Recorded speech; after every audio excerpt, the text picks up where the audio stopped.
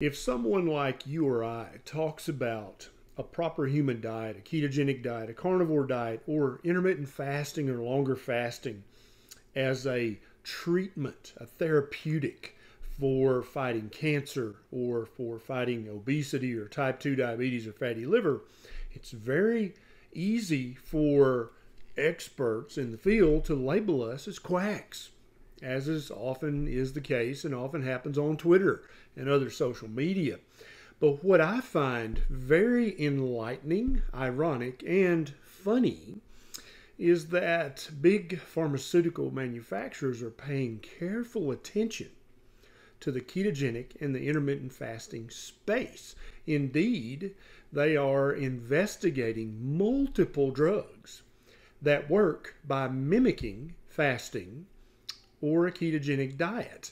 And uh, I'm going to tell you in this video about one such drug that's being investigated and the miraculous benefits this, this drug seems to have all by mimicking a ketogenic diet and or intermittent fasting. I'm Dr. Ken Berry, a family physician with over 20 years of clinical experience and almost a decade of experience uh, eating a very, very low carbohydrate diet and practicing daily intermittent fasting. Let's talk about what Big Pharma is investigating so that basically they can get a patent on a pill that will have the power of a low carb diet and intermittent fasting. So, researchers at the Washington University School of Medicine are investigating a substance, a chemical, a drug called pegylated arginine deaminidase. Uh, and they're currently investigating it for fighting cancer. Now, this drug starves the cancer cells of sugars and, and has many of the effects of eating a ketogenic diet and many of the effects of intermittent fasting. So it's basically a fasting mimicking drug. Uh, as you may or may not know, there's an argument in the low carb and fasting community whether a ketogenic diet is a fasting mimicking diet or whether intermittent fasting is a keto mimicking way of not eating. And so I think that no matter who wins that argument, we all win if you're eating a ketogenic diet and practicing intermittent fasting. But Big Pharma has very quickly jumped on the bandwagon, not in recommending a ketogenic diet because there's not billions of dollars to be made there, not in recommending intermittent fasting to you because you can't make a billion dollars just recommending a way of eating or recommending a pattern of not eating. The way you make billions of dollars is to get a patent on a pill or an injection or an infusion or a patch or a surgical procedure. And so they are investigating this substance uh, to fight cancer because it, it mimics a ketogenic diet and it mimics intermittent fasting, both of which cancer freaking hate.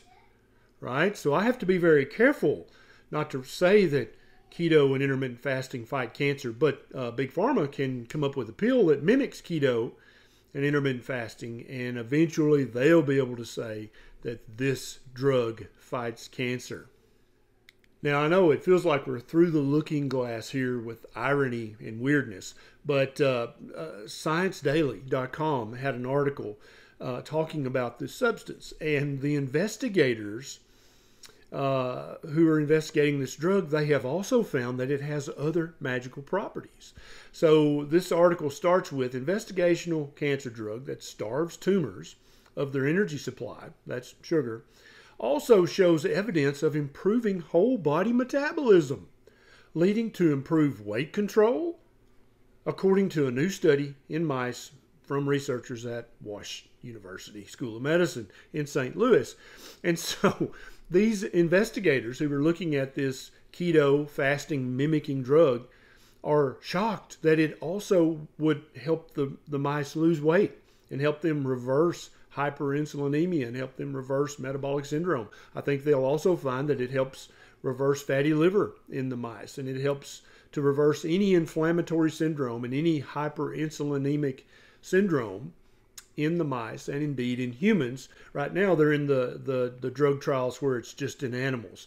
And once they've proven this pill or injection or infusion, however they tend to market it later, when they prove it's safe in animals, they'll start human trials.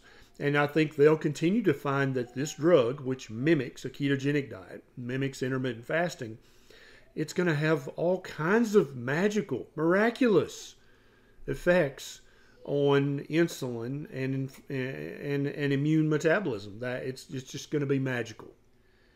So, although healthcare practitioners like me and Dr. Jason Fung and Dr. Eric Westman and many, many others, we know the power of a ketogenic diet to fight metabolic disease, to fight cancer, and to fight chronic inflammatory disorders.